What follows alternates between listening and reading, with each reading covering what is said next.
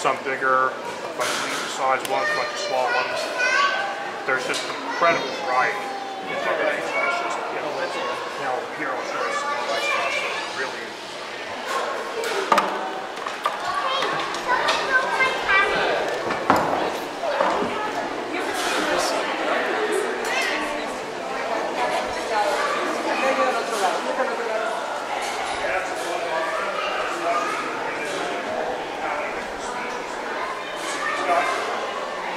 those high spots. What do these guys look like? What color? Uh, yes, exactly. Those are owl butterflies. This is some of the most remarkable camouflage in all of Mother Nature. Yeah. That's Morpho helena. And this is one of a group of South American blue morpho butterflies. Where they come from, they're very common. There are millions of these in the rainforest. Millions. They're just beautiful. But they're, diffi- they're not difficult to import. It's that their stomachs contain a bacteria that's harmful to our crops. So you notice they don't have any stomachs on them. Like these dudes have these big yellow stomachs. These guys don't. They have to break off the stomach and destroy it before they ship them to me. Huh? Daddy, I'm not having it.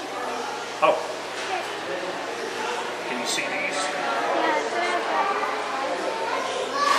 Because all butterflies and moths' wings are actually transparent membranes that are covered in symmetrical patterns of scales. And with the riodinid butterflies, the only the outer margins and the tails have scales.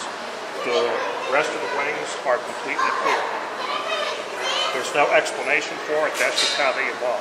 They can still fly, because there's that old myth, if you touch a butterfly's wings, they can't fly. That's not true. You'd have to scrape off all the scales for them not to fly. And you can see these moths also have this transparent windows.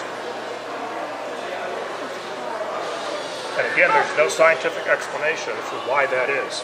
It just is, so I accept that on good faith and I don't question it. How come you can see through them? because they're not covered in scales. The rest of the wings are, top and bottom. And let's go look at these bigger ones here. You can see them better. Yeah. These two Hercules moths, clear, uh, clear membranes. Here. Bring this over here.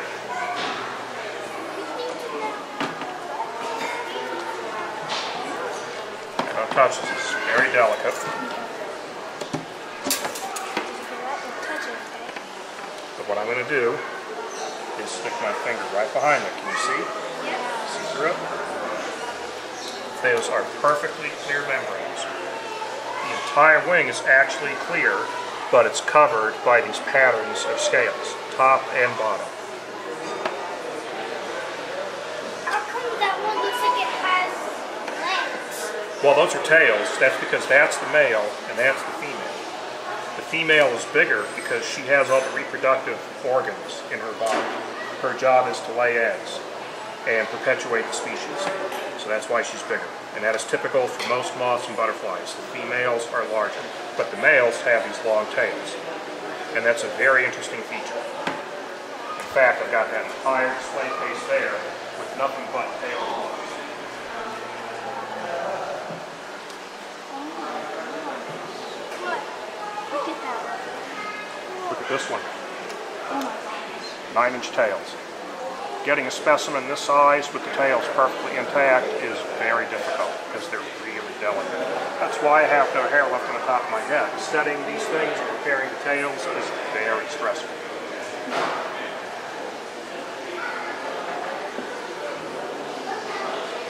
I've got tail moths from Australia, Africa, uh, Malaysia, India, China, North America, Mexico, China, Malaysia, Africa, uh, North America, Malaysia, Malaysia, Malaysia, Vietnam. This is the rarest and most beautiful of all, Baptist Chapet from Vietnam.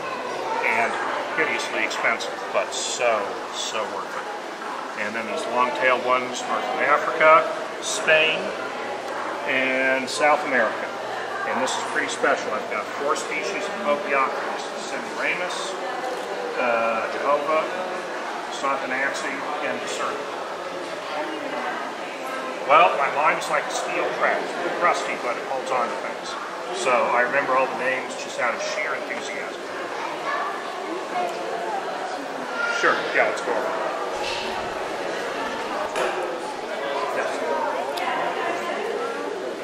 Well, it's uh, part of its camouflage. When the wings are folded up, it resembles a leaf. And particularly, this one resembles the leaf in mid-season change.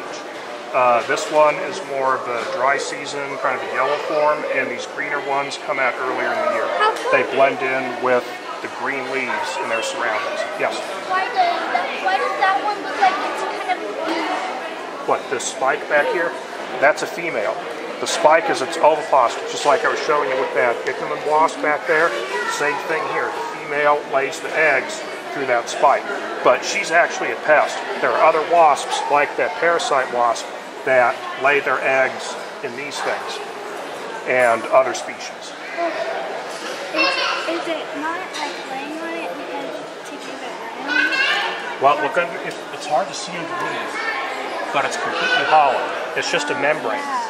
All it does is resemble a leaf. It's just camouflage to resemble a leaf. I just spread out a couple more of these humps, so I got a good look underneath. It's just completely hollow. There's nothing inside, no organs, no brains, no nothing. So it's just camouflage. It's just a detail that enables them to blend in with their surroundings. Oh, this one too. This one is camouflaged to resemble thorns on specific bushes. And I believe this one came from Costa Rica. So there are basically insects that are camouflaged to blend into every different species of tree and bush in the tropics.